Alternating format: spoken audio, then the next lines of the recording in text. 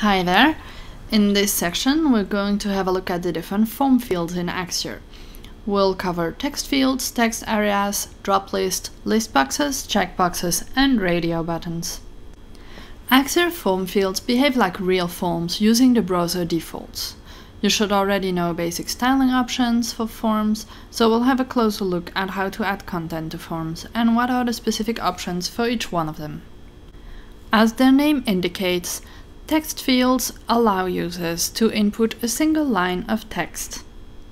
Text areas, on the other hand, allow the user to enter multiple lines of text.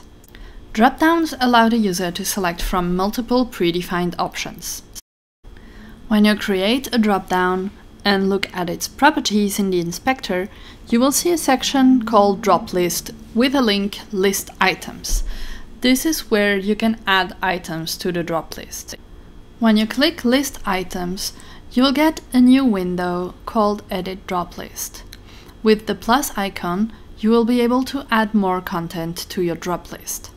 The icons on the side allow you to reorder the content of the drop list or to remove one or all items.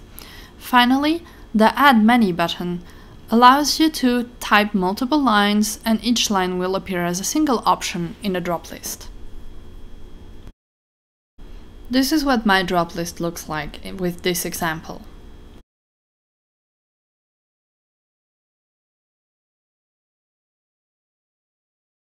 List boxes allow users to pick one or multiple options from a predefined list. Adding content to a list box is pretty much the same as adding content to a dropdown. If you want the user to be able to select multiple options, don't forget to check the box at the bottom of the dialog. With the button checked, the user can select one option from the list or hold the Command or Control key and select multiple options. Next, let's have a look at checkboxes. In the inspector, you'll notice specific options for checkboxes. You can use the selected checkbox to mark it selected by default when you launch the prototype, and you can decide to align the button to the left or to the right of the text. Whereas checkboxes allow you to select multiple options, radio buttons are usually used to pick one option from many. Radio buttons have similar options to checkboxes. You can set one selected by default, and you can decide to align the radio buttons to the left or to the right. An important feature of the radio buttons is assign radio group. Here you will be able to give a name to a group of radio buttons. Whatever radio buttons are part of the same group will unselect each other when one of them is selected, meaning that only one radio button can be active at the same time.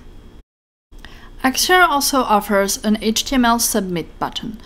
This HTML button uses the default look and feel from the browser, which means it will be consistent with the rest of the form. However, I find myself most often using shapes for buttons instead of the default button.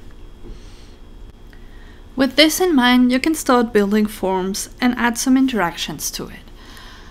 In the next video, we'll have a specific look at text fields, which have many more options to ease interactivity for your prototype.